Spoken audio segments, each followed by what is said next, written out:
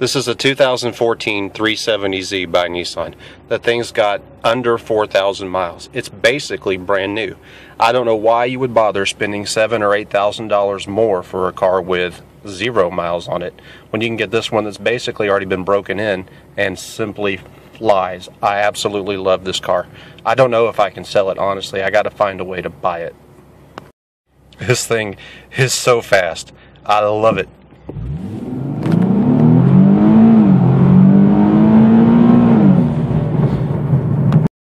You don't really have time to play with the radio. You just got to hold on for dear life.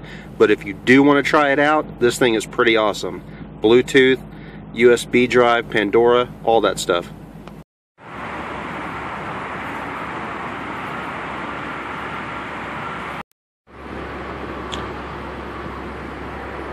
You don't need trunk space on a car like this. All this car hauls is butt.